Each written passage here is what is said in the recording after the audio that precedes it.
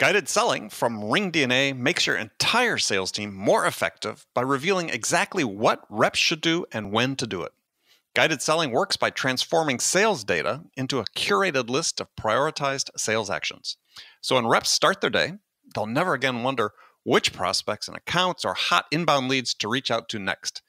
Guided selling even shifts reps' priority in response to real time buying signals. Finally, even new reps can sell like seasoned ones. Let RingDNA be your guide to success. Learn more at ringdna.com slash guided selling. That's ringdna.com slash guided selling.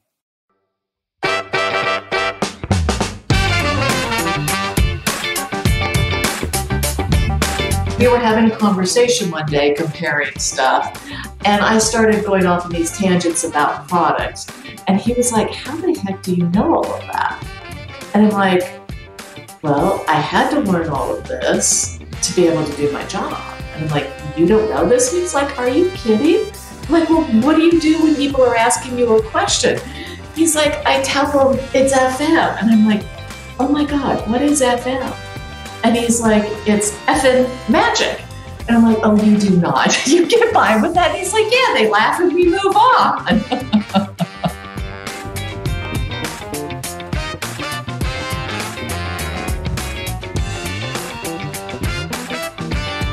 Hi, friends. Welcome to the Sales Enablement Podcast. I'm your host, Andy Paul. Now, that was Sally Duby. Sally's the Chief Sales Officer and partner at The Bridge Group, which, as many of you know, is a leader in inside sales consulting and implementation. In this episode, Sally and I dig into a wide range of interesting topics. We start by diving into how to create more diversity in sales, particularly in the tech space.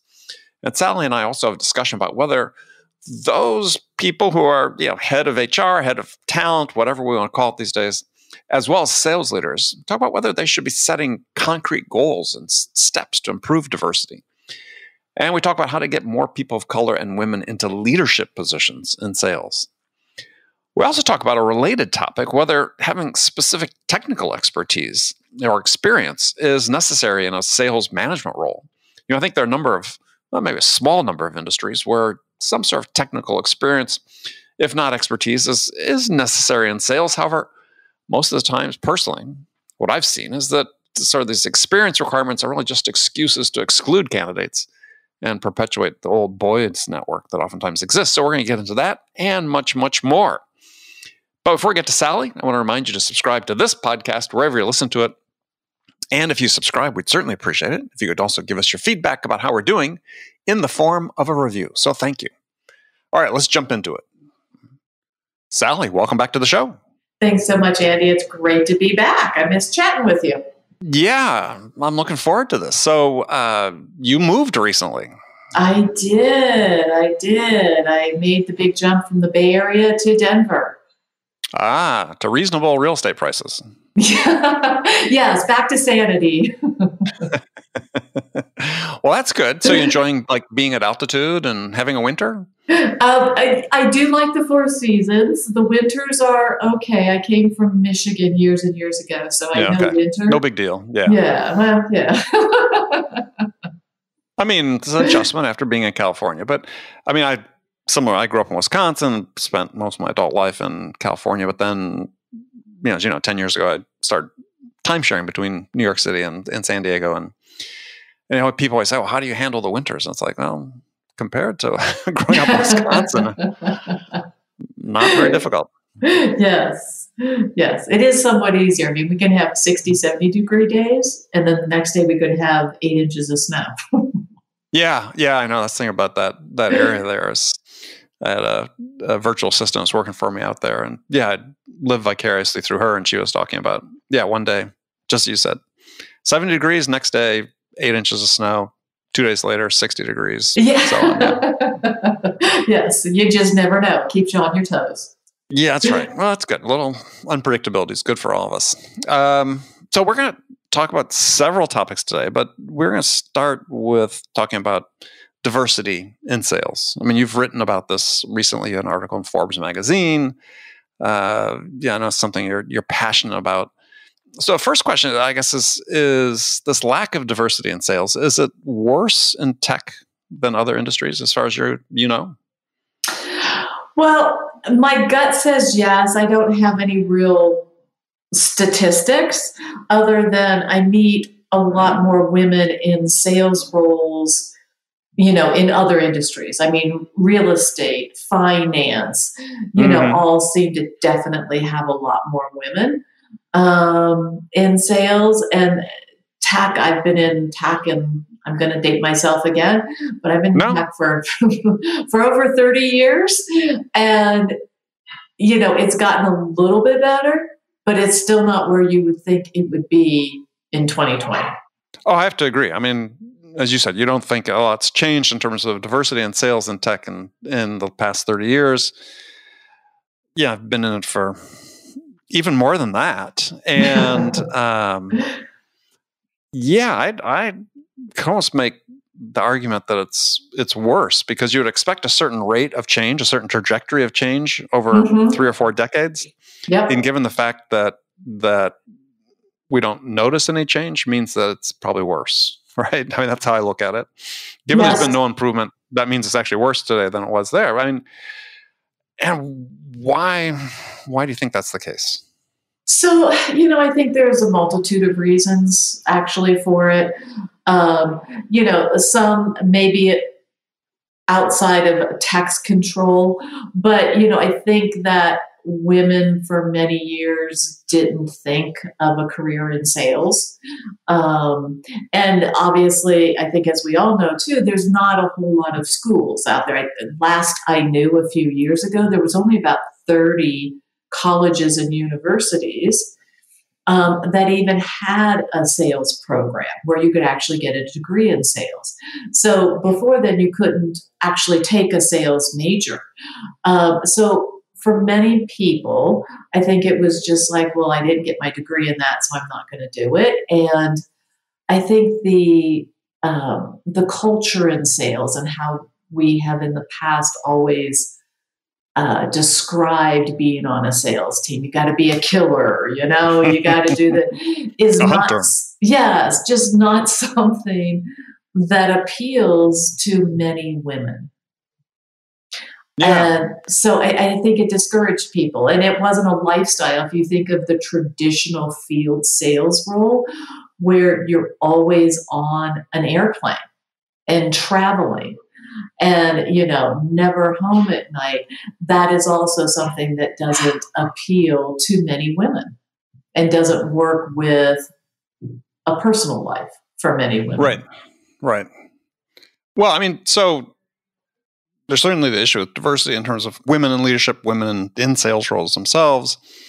Uh, when it comes to diversity, let's say racial diversity, it's as again the progress is as dismal as it is, if not more so, than with women. Yes, and you know I think it kind of goes back to some of why are there more women when you've got so many men in there. You know, people tend to hire people that look like them or people that are in their network. And so you've got, you know, men, they're just used to hanging out with other men and that's their network and that's who they worked with before. So that's who they continue to hire and look for. And I know from my past experiences as, you know, a sales leader, when I was hiring and I was trying to purposefully hire more women, it's really it is hard to find. You get, you know, maybe one out of 10 resumes are from a female or a person of color. And so you have to go out of your way and make a really concerted effort to try to find those people and to search out those people. And it's going to take longer. And I think in the world of tech, anything that takes longer is not well accepted. um, you know, and I know many times I had to tell, you know, my boss, they're like, why is that position not filled yet? And so, you know, I'd have to kind of, you know, play a little game and just say, oh, I just haven't found the right person yet. In reality, what I was trying to do was balance out my team and find a woman, find people of color, and it takes longer.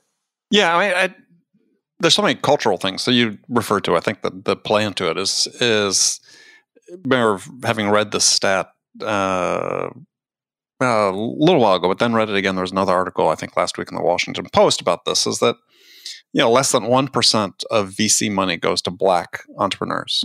Mm-hmm. Think about that. Less than one percent, and so the conclusion I think it draws that you know best case scenario there's this implicit bias there. Worst case, explicit biases.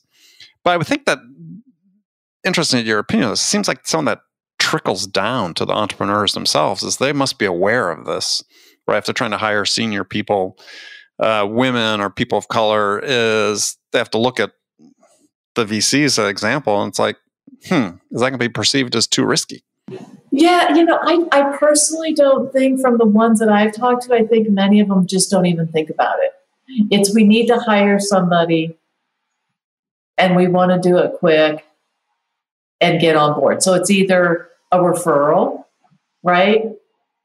So again, it's coming from your the Good Old Boys, the Good Old Boys yeah, it's coming from the Good Old Boys Network. I mean, and it's not. I think the thing that's fascinating is not just people that are are around my age group um, that's creating this. When I look at the younger demographics and the younger CEOs, the younger managers, um, you know, we work with a lot of sales development, inside mm-hmm. sales teams with tend to be people much earlier in their careers. And when we go into these companies, I mean, it is the good old boy network at its finest, even though they're being managed by a millennial. Mm-hmm. Right. So it's it's nothing you know has changed between age groups, even though I think the younger generation wants to think um, that they are better, more progressive and more aware of this. right.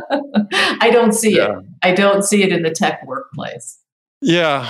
Well, I mean, one of the things you you wrote about is is that were saying that you thought that you know HR functional leaders need to set you know concrete goals for improving diversity. So, what would these be in your mind? Yeah. So you know, I think they have to to come up with when they're hiring, what percentage of people or what percentage of people in the team do they want to be either women or people of color? And then they work to strive towards those goals.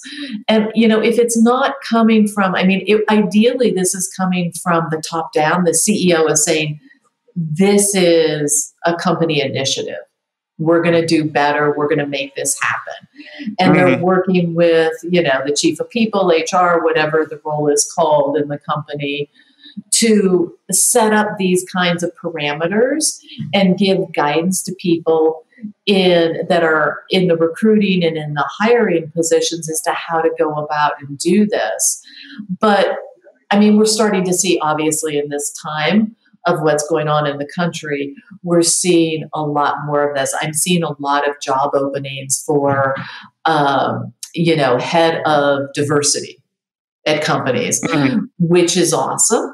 Um, but I think as a hiring manager, you don't have to wait for you know for it to come from top down you can do it yourself right and so again i mean some of the things that i talked about um, in the post that I wrote was one of the things I really liked was, you know, if you ask people on your team who um, are part of the good old boy network, if you will, for a referral, they're going to give you more people that look like them. Mm-hmm. If you specifically say, like, who's the best woman salesperson?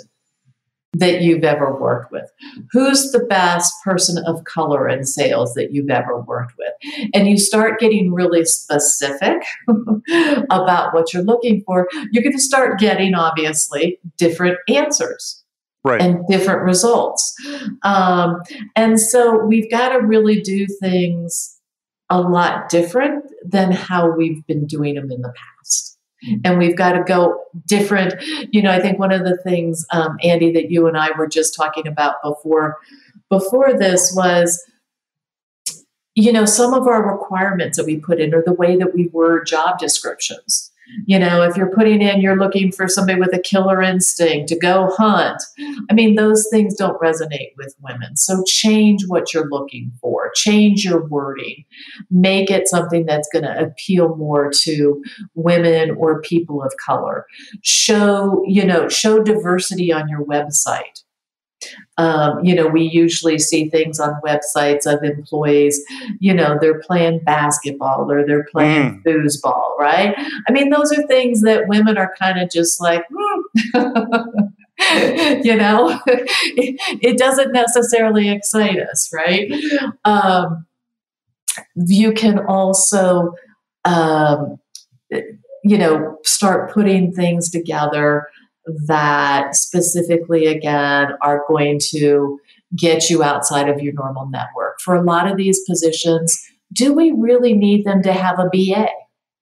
No, I think that's that's that's a great question. I mean, if that's if that's a barrier, then yeah, that's that's a barrier that needs to come down because that's that is I don't know. Have you used your BA in, in your sales? No, and my BA was in hotel and restaurant management. yeah. Mine, yeah. mine, was, mine was mine was in history. I mean, there you go. yeah. You know, and as we were just saying, that there are no, you know, there's very few now. Back in my time, there was no one who had a sales major, um, so it didn't matter. Um, you know, I I would and, experience. Why do we need, if you're in the security, we see this all the time. The security and the security part of tech is really, I don't know. I, I guess they think they're more complex than everybody else. And it's always you've got to have security experience. Well, how are you going to break in these new people? And you know, women, women and people of color and give them an opportunity at a starting role if you're requiring experience. And why do you really need that security experience? Yeah. You know, everybody got started in sales without having a security experience and they got their first job and managed to figure it out. yeah, well, I do want to come back to that one. I, I, I think the critical point, though, is is for me as I think about this, is that we just need the diversity needs to start at the bottom, you know, at the entry level, people in sales, uh, because that then forms the pool from which future managers and directors and VPs and CEOs are developed. And and I agree. I think these things you, you've talked about is do we need BAs? Can we do more aggressive use of internships? Yes, uh, bringing in uh, women, people of color, students as interns into sales to expose them to profession and and so on. Hugely important, right? Because it's it's yeah, we we just need to get people in doing yes. the work, and then be able to develop them from there. Exactly. And and we have to be serious about it. I mean, I I I always look at I've talked about this example before, but you know, the NFL put in a a rule to try to encourage uh, the hiring of minority candidates into head coach and senior coaching positions, and it's been available. I don't know for for um, for a while. yeah, almost twenty years or so, and and it's had no impact at all. Right. I mean, it's it's like it's one thing to have the rule in place. I mean, 70% of NFL players are black and less than 10% of the head coaches are black. In fact, the same number of head coaches this year in 2020, black head coaches in the NFL, as there was in 2003. But it's what, amazing, what, isn't it? What dictates though is what drives that is that most of the most of the head coaches are drawn from the next tier down, right? Just like mm-hmm. in management, right? Yes. Probably my VPs from my directors, my directors from my managers. Well, the next tier down yes. is primarily what the offensive defensive coordinators on pro teams are mostly white men. So, you know, the pool always starts drawing from the experiences. We've got to get people into our entry level positions. Uh, more women, more people of color, and, and I said I love the internships. I love we yes really looking at we don't need a BA degree. Most yeah, we've had this inflation of people rushing to colleges in the last forty years. That's you know people have to get degrees to be you know admins these days. I mean, it's like why? You know, it's just become this this bar. So let's. I agree. Let's let's look at taking that away. And I and I think your point about making sure management teams know how to hire, how to interview, how to remove the the you know unconscious biases, if you will, out of the mm-hmm. interviewing process. I mean, one thing that people are doing that's that's makes so much sense is, and this is what I advocate as well, is you use standard interview questions. Oh my god, I was just going to bring that up, Andy. Yeah, so that, that is so, so that spot on. When someone's being interviewed, is is if you have four people that are interviewing them during the course of a day, those four people all ask the exact same questions in the exact same order. So when they get together and debrief, they're using a standard set of you know criteria to evaluate the person. Right. And you get so much more out of it when you give people the questions they need to ask for the role. I mean, because I quite often, you know, we're always like, okay, so why do you want to hire that person? Well, I really like them. Well, okay what else is there that you know there's got to be a lot more as to why you want to hire somebody besides you like them and what that is telling me is that you really don't know how to interview and you didn't know what questions to ask and you couldn't get any really good information but they were really nice and maybe you had a really fun conversation bsing well, but that's the whole point about standardized questions. Is you? Eh, that's what that, I said. Yes, exactly. That's part of a part of a system of yes that I advocate is having a scorecard that you assign yep. point values to various things. And it could be interviews is just one of the things you're evaluating, but is is yes, let's make it more data driven and less subjective. And I think that's that's at least one step that companies can take yes. to try to get more diversity into their workforce. Exactly. And really being able to understand the what it takes to be successful in the role and that things like the degree, you know, things like previous industry experience, you know, you can teach people product stuff. Yeah. Oh, absolutely. Well, you want somebody who's and that's, that's only what yeah what tech companies are the best at is teaching people product stuff. They're not good at teaching people how to sell. No. Or do well, any of that other well, stuff. well we're, we're, gonna, we're gonna get into that in just a second. So yeah yeah because that's that's a question i want to ask you. So but i do want to get back to your question about you know is is you know if you're in an industry and you're hiring a salesperson do you need to hire someone with that industry experience because uh, uh, to your point, is is it easier just to teach the product side than finding someone with, you know, the sales skills you need? And uh, I have to admit, I go back and forth on this because, yeah, I'm an example on one side of, you know, as I said, I was a history major, but I've spent, you know, prior to starting my business, spent 25 years selling very complex technical products for the most part. And it was funny. I was very successful at it, but there were certain things that that I felt somebody with more technical background could do better. So it wasn't like it was a complete, you know, yes or no. Because on the other hand, I made a career of taking engineers and turning them into salespeople.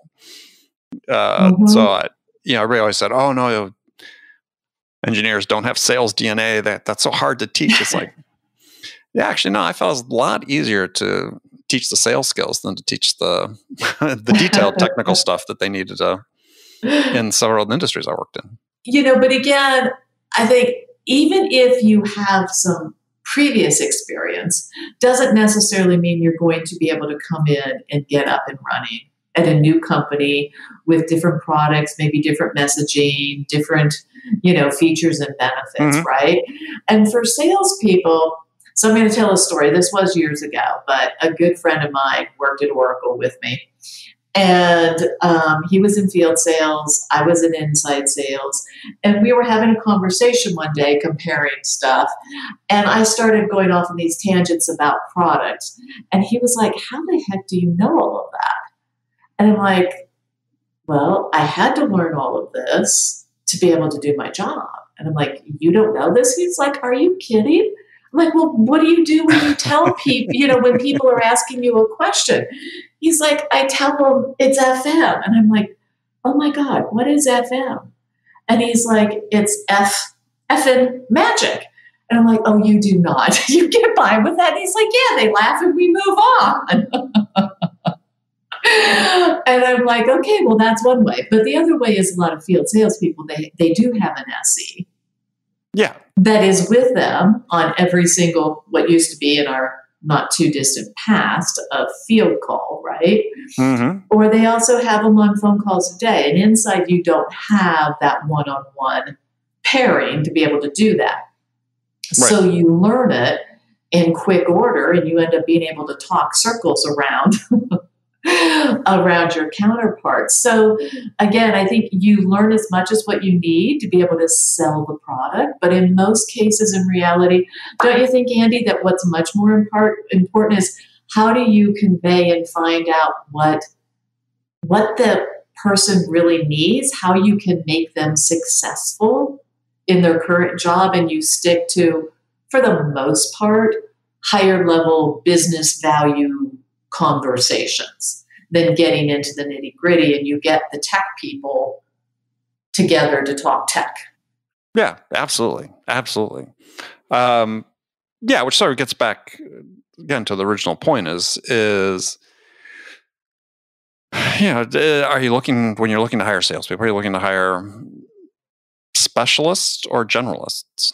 Mm-hmm. And and yeah, I think if it's from a, just an industry perspective, right? Um, yeah, I tend to lean toward generalists. But if there's something you know, you're selling chip design equipment or chip manufacturing equipment, yeah, I'm going to lean probably toward a specialist. You know, I'm going to want a seller with you know maybe a double E background or something like that. That that's you know understands the fundamentals. But yeah, I think for the most part, I sort of lean toward the generalists. Yes, I agree. And I find this interesting too. We have a lot of people that are very specific when it comes to uh, uh, at the leadership level, whether it's a sales development leader, an inside sales leader, you know, a field sales leader. Um, you know, is that they're looking for that industry experience. And, you know, I know from the SDR and inside sales that if you understand what makes sales development teams tick and how to work with sales and marketing, that the product side is so less important to developing a really good team that mm. will blow your socks off. I mean, I've done it myself. When I went in, I went from doing the database stuff into a company called Network General, which got bought sure. by I forget who now. um, I, I, don't know if it was Network Clients or one of those, but anyway, because um, this was years ago, and it was a really, really technical product. And I was just like, I don't know any of this stuff, but did I build a really high level functioning sales development team and inside sales team? Absolutely. Yeah. Yeah. Well, you I mean, I, yeah. So I mean, I think that I think that that one of the perspectives that people don't look about in or look at at hiring sales is, you know, we use the term generalist, but I I, I sort of sorry I used it because I actually don't use that that term anymore. I call sales specialists, and and it's a, something I think we need to really develop as sort of a term. Is this okay? Well, I'm not just a salesperson. This is somebody that really understands sales, and how do we how do we gauge that, right? Because yeah, I, I always harken back to this quote, one of my favorite quotes of all time from this uh, British philosopher uh, Thomas Huxley was was you know in life we should try to learn something about everything and everything about something, and and that sort of describes the way I've lived my life. And I think about okay, well, yeah, I'm I read widely, a hugely curious individual. I, yeah, try to know something about everything. But the one thing I know everything I think I know most everything about, but uh, obviously I don't know everything about it. But the thing I'm trying to learn everything about is sales right? I mean, so I think as a salesperson, you really don't want to be a generalist. You want to be a sales specialist. You may not be a security industry specialist or whatever industry you're trying to get into. But if you position yourself as a sales specialist, you can verify that by what you read, what you, you know, things you're learning yes. and so on. That becomes pretty powerful. Yep. Absolutely. I like that. I like that. You know, and I, I I totally agree. I think that we need to get to really down to the brass tacks as to what do you need to look for. And it's, you know, it's a little bit different based on the role in the position.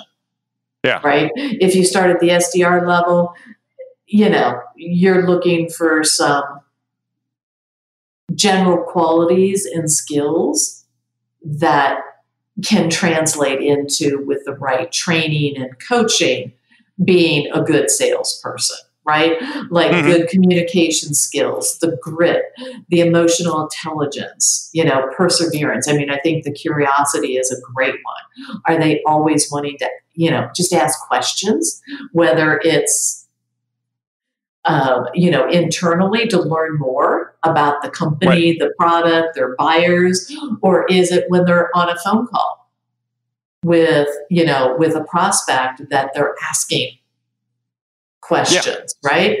Um, you know, are they motivated? Are they internally motivated? Um, to do the job because this, you know, the jobs are hard in sales. It's not easy. um, no, and, no, that's never yeah. been easy. No. And you know, does it bother you when people say no to you or hang up? I mean, you can't let those kinds of things bother you. I remember when I was selling insurance, that was my very first insurance job. Mm-hmm. And literally, um, I was selling business health ins- or health insurance to businesses. And literally, it was knocking on doors, just going to a big, yeah. you know, business park. That's how I got started. Yep. Yeah. And, you know, literally knocked on doors. And I remember going into one just, and there was a sign above the receptionist desk that said, We shoot every third salesperson. And the second one just walked out the door. And, you know, I mean, you, you got to just laugh. And I turned it into a joke and had them all laughing and got in to see the person I wanted to see. But, you know, if, if you're too sensitive on some of those things or take things literally, you know, I'm sure a lot of people just looked at that and turned around and walked right out the door. yeah, well, I've started my own similar when I was very early, first few months on job as my territory was the East Bay or the Bay Area from Fremont to Fairfield, and uh, went out with a senior salesperson to go on a call, and and he was selling accounting systems. We were selling computer systems with an accounting application for uh, CPA firms to help run their business. To it wasn't. I guess was there tax prep involved? I think there may have been tax prep involved. I can't remember, but certainly for business operations for CPA firms. And yeah, we get to the door of someone's CPA firm. He was going to cold call, and yeah, sign said, you know, no salespeople. And he goes, he goes into the front door, and I'm with right behind him, and the receptionist and sort of this atrium says, can't you read? and, and he said, he said, I can very well. He says, but you know, I'm not here to sell you something. I'm here to help you improve your business operations. And you know, for me, that was like eye opening, right? it's like, oh, yep. that's how you do that. That's how you do that. that's so, great.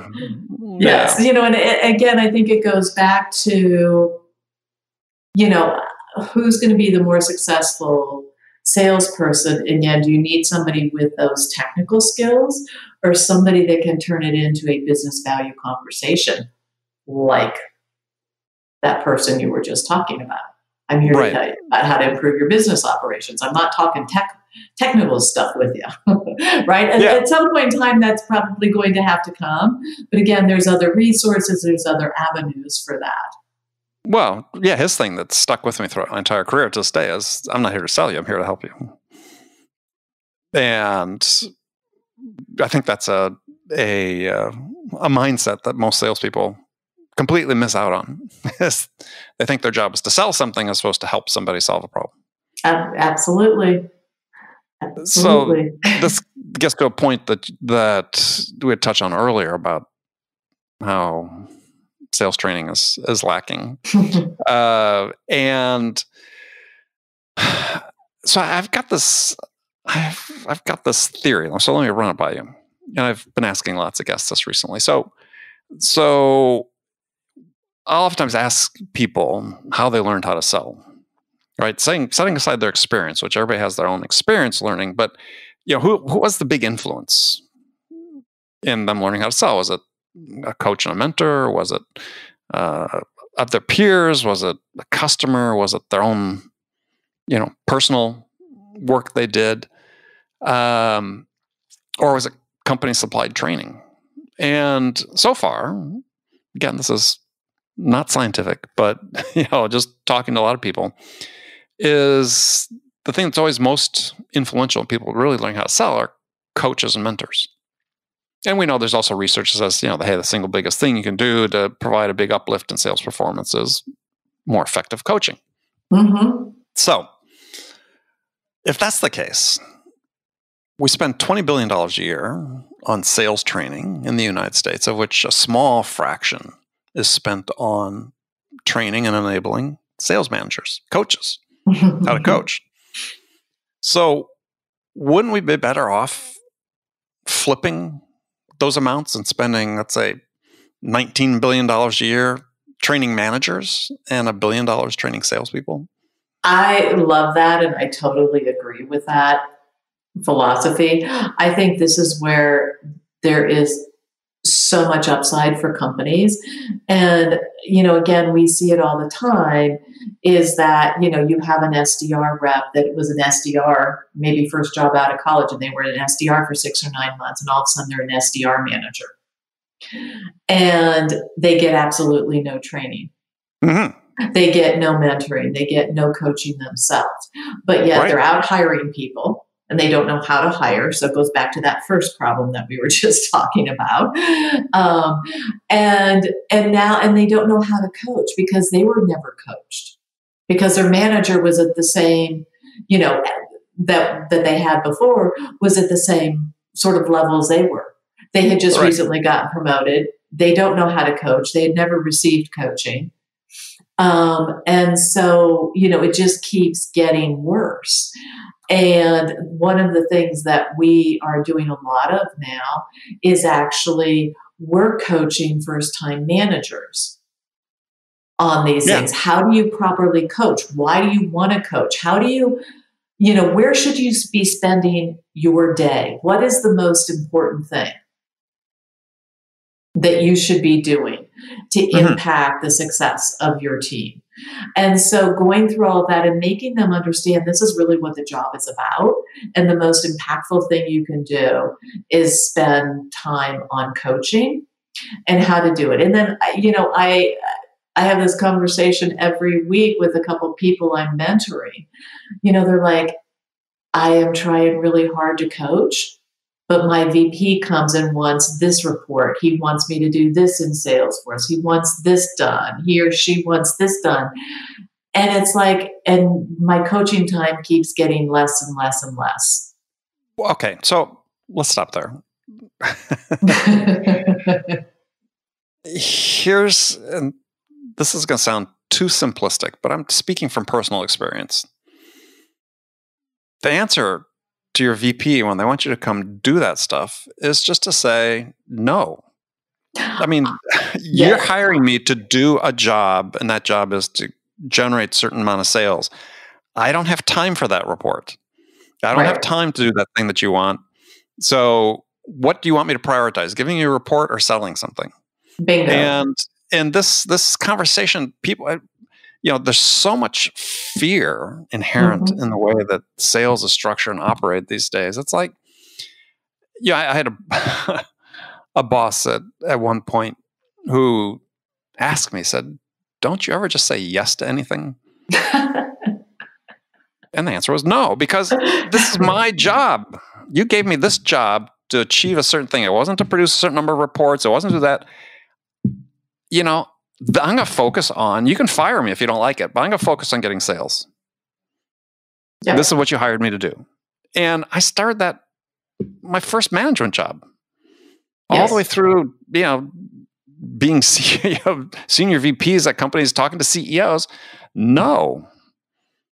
You want me to do certain things? No, I'll, look, I'll think about that, right? Yeah. See if it makes sense. But I've, my priority is I'm trying to get this quarter done. I'm trying to get the year done. Yep. No. Well, people and, need to start saying no. Exactly. Or figuring out, I mean, you know, it, it's hard for, I think, people that are early on in their careers to know how to properly do I that. I know. I was. I just I said it. And, and not, I love I'm, doing that too. I'm, I'm not a huge risk taker. Yeah. I'm not, yeah, I'm not, but I'm, I'm, you do have to take a risk. Yes. You know, the people that, that get ahead in sales, you know, the common thread is they break the rules. Mm-hmm. Yeah, it's not that it's not that they you know do anything unethical or whatever, but they understand what's the biggest priority, and they're going to focus their time and effort in getting the biggest priorities accomplished, and they're not going to let anything stand in their way. Right, right. Don't get your weekly report done, you don't get your weekly report done. Yep. Fire me. I'm 110 percent of quota. Yeah, I that is my big um, advice to a lot of the people that that I coach a mentor or talk to is you don't necessarily have to say no first. Say, okay, here's what's on my plate. Help me prioritize. Is coaching and making sure my team really achieves their goal for this month? Is that is that still your most important item for me, or you want me to go try to figure out how to run this report and get this data for you? Right. And when you start putting it in perspectives of what's most important, you know, most most sales leaders that I've done this with have backed off and said, You're right. Yeah. Right? You know? They're so, doing it because somebody asked them for it. Right. Right. I mean, it's like, yeah, that's your problem. Right. Yep. So yeah, I, I think in this, you know, having be, being able to have those conversations instead of just being the yes person because you think that's going to keep you in good with your sales leader. For some some people, I guess that does work, and that's what they what the sales leader is looking for is just yes people. Um, but those people are probably the ones that I would never want to work for. well, and the people that the people that say yes are are the ones that just you're not right. going to achieve what you want to achieve. achieve. Exactly. Right? I mean, it's like, come on. Right. You have no one is looking out for you except you. Right. Right. You may have a good boss on occasion that that you know you really bond with, and they've got your back. But by and large, know, the only one looking out for you is you. And so it doesn't mean to be selfish. I mean, you want to be a team player because that's going to help you. You have the right mindset, but you also got to get your job done. And you know, they may say, you know, I had this this conversation once with a CEO at a startup I was working for. I inherited this organization that was not doing well, you know, and and the CEO thought the answer, and we were sort of we were selling outsourced services for managing networks and so on, and and he thought the answer was to hire a bunch more people. And I and I said, well, yeah, here's the problem. You've got or I have people that that jump able to you have an organization that can't sell these people.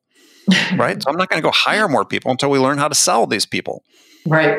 And and I had P and L responsibility for this organization. And I finally said to him, I said, look, dude, I can go hire these people, but if it doesn't work out, you're going to fire me. But if I make this a profitable organization and continue to grow sales while I do it, yeah, we may not be hitting your growth forecasts, but we're making money and we're going to understand how to do business, right? How to do this business. And he just, yeah, backed off. He didn't, it's like, you know, if you don't like it, fire me. But I'm going to do my job. Right. And that is such a key point. And I think things in particular in tech where it's like growth at all costs.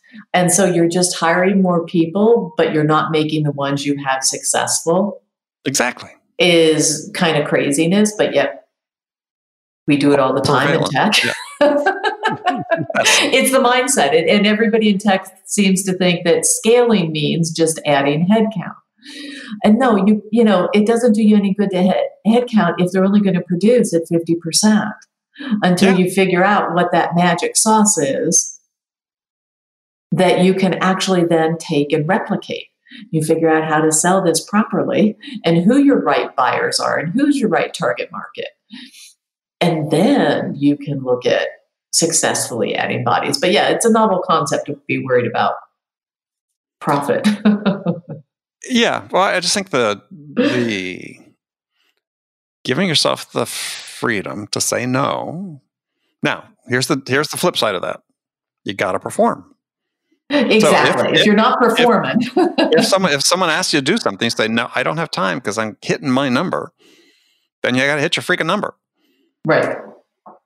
But you know, we can help all people learn how to hit their number if they're open and prepared to learn and, and work hard.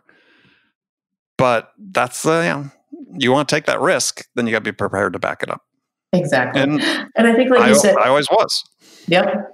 It does start, I think companies would be a lot more successful if they made their frontline managers more successful and focus them on exactly how to coach, how to make, you know, their teams work, how to instill that team concept. I think one of the things we're lacking today, and this is a totally new subject here, but is um, a sales culture. Sure in a lot of these companies. You know, I just don't see sort of the intensity, the energy, the I'm going to do whatever it takes to hit my number this quarter, yeah. this month. Yeah. Well, I think what's happened is it's evolved into what I call a selling culture as opposed to a sales culture. And so, yeah, we've got this process, we've got our tech stack. If we throw enough crap into the top of the funnel, we're going to sell some stuff. And that's that's a selling culture as opposed to what you're talking about. Sales culture was yeah. I've, how am I going to make this number? How am I going to scale? Right? How am I going to work with my customers in the most effective way in order to scale this this company the right way? And you know, one is a very thoughtful approach to how you work with your customers and how you perfect a repeatable business model, as opposed to just a brute force way to address it. Yeah, good point. But it's just you know that intensity the the the drive. I mean there were many i know working at oracle you know it'd be like closing out the quarter and i wanted to be not just at 100% but i wanted to be at 120% and have my accelerator kick in at 120% mm-hmm. and so you know i would go to it quarter to 12 this was again back in the good old days. Go to the san francisco airport and pick up a FedEx envelope off the turnstile and then drive it to Oracle headquarters, get it yeah. date stamped and time stamped to show that it came in. For an order, yeah. Yeah, yeah. For an order. And then I would actually go down and package it up. I'd go into shipping and um, package it up and yep. put a label on it and make sure it was waiting out on the dock for the FedEx shipment. Yep. Been there, done that. Yeah. Those are some fun times. yeah. I mean, yeah, different environment, but but it does, you know, speak volumes about yeah, what what are you prepared to do within let's say within the bounds of you know being ethical and, and legal but i mean what are you able to do to push yourself to yeah do what you need to do. Mm-hmm. I mean, yep. yeah, it's it's uh, yeah, we're you're talking about grit and so on. It gets back to sort of the the hiring process we sort of started talking about beginning, but but also I think it, part of it is you know we talk about sales enablement, but I think part of it is self enablement. It's mindset. It's yeah, this whole thing you talk about is you know do I have this this uh, growth mindset that that says yeah I can I can learn how to be this way. Yes. Yep. We've got um, we've got some work to do, you know, and so I think that there's there's definitely some good tools out there to help companies as well to determine um, you know, one I'm really familiar with uh, OMG that, mm-hmm. you know, they have a short survey and through uh, they've tested almost 2 million salespeople and sales leaders at this point in time. So they've got really good data and science to back up their findings, but they can determine sales DNA. Does this person have the right sales DNA? And that can be broken down into are they better suited for hunting or better suited for the farming role? Right? To really help give you some guidance. And I think, especially now in today's world where, you know, we're being told when companies are putting a job posting up for every sales related job posting, they're getting anywhere from 200 to 3 to even 400 resumes in. Mm-hmm. So no one can spend the time screening you know, for that, um, which, Right. which kind of goes back and complicates some of our other issues that we were talking about on getting more diversity in the sales teams. But there's got to be ways that you can, you know, um apply some science to this to figure out who and narrow down your pool of candidates. Yeah. Yeah.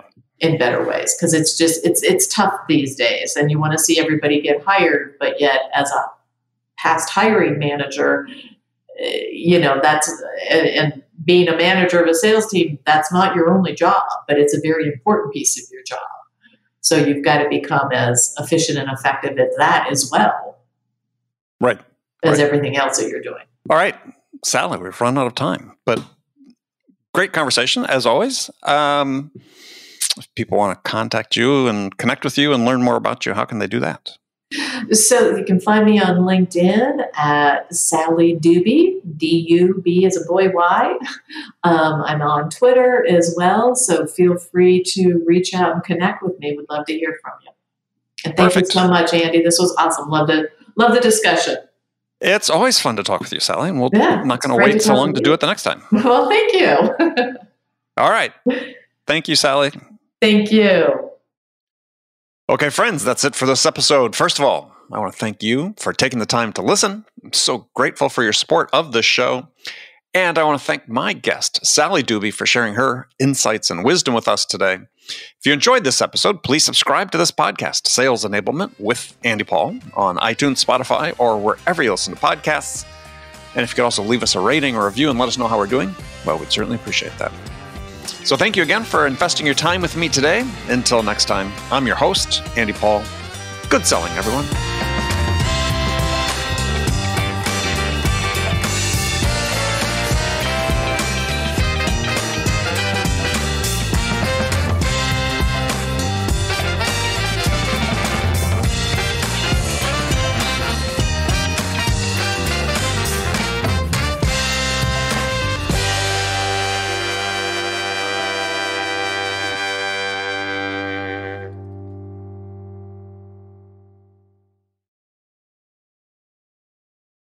RingDNA is the leading sales enablement platform that uses AI to help scale business growth.